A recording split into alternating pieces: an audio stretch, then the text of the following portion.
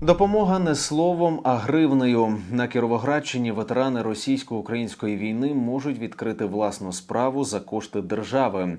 Взяти участь у грантових програмах військовим та їхнім родинам пропонує Український ветеранський фонд.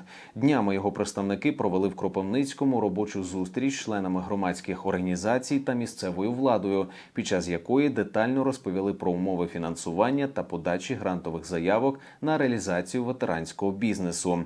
Крім коштів, фонд також надає військовим менторську підтримку в розробці ідеї та написанні підприємницьких проєктів. У 2023 році фондом заплановано провести 9 грантових конкурсів.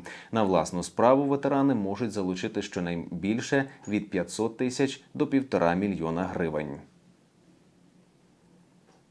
Ми створюємо можливості, а ветерани далі безпосередньо реалізують свої проекти, і це піднімає економіку.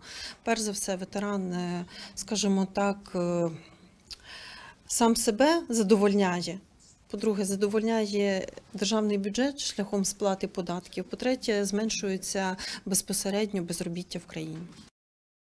Це підтримка не тільки е, особисто для ветерана, а й для їх родин. Вони також можуть подаватись на отримання грантів. Це розвиток підприємництва. Ми комплексно розбудовуємо всю роботу з ветеранами, з родинами захисників, з е, тими, хто е, зараз бореться за нашу незалежність, щоб ці люди залишалися активними учасниками життя громади.